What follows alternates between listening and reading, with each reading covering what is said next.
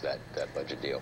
I, I'm just curious, I mean, do we have anything in, in Obama's life where he's been able to do a course correction?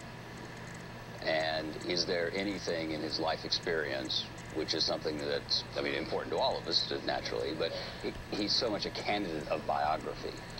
Can well, you think of anything? I can't. I can't really think of anything, uh, and in part it's because you know he got to the White House, relatively speaking, without a lot of the struggles that other presidential candidates have had.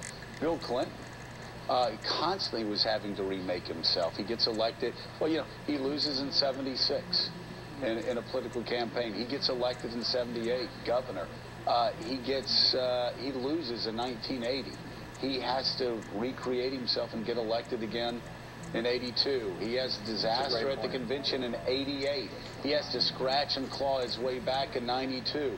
In New Hampshire, before the biggest primary uh, in his political life. Uh, he's got a scandal that comes out, explodes, and he's got to scratch and claw his way back.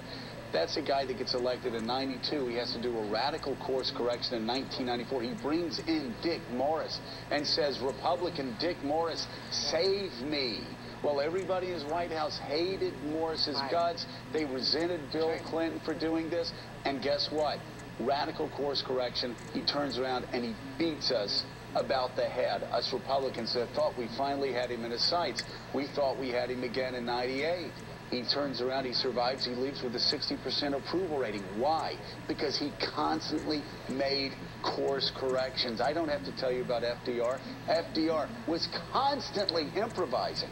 But there's no new people in that Obama circle to do. I mean, there no, not, of course not. I mean, you know, they the idea of bringing decision, in. They made the decision early on, and the president made the decision. I'm not going to expand my my circle of friends. That's absolutely true. Well, the other smartest guy in the room complex.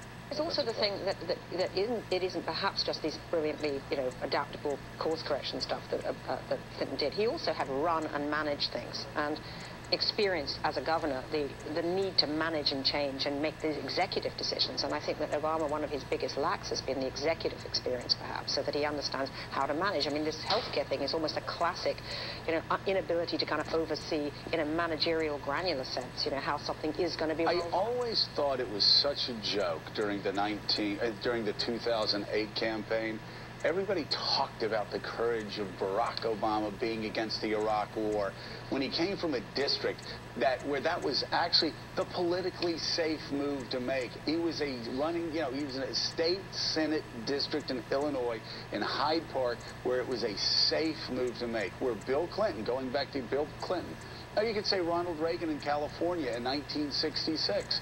Uh, you know, or you can talk about FDR or TR, where they had to deal with people that didn't agree with him 100% of the time.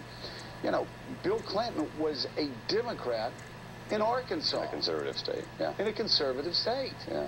So, I mean, you tell me, is there anything in the president's uh, biography that suggests that he can come out and do what Bill Clinton did in 94 and say, basically, hey, we screwed up. Yeah. We hear you we're going to change.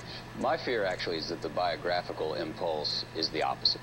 That having to raise himself, having to be so self-reliant, you know, the father gone, the mother, you know, um, that his what what his life taught him, what his first 44 years taught him, is that if he relies on himself, he'll do well. It's interesting. And he becomes president of the United States when he's yeah. what 44 years Six. old or whatever, 46.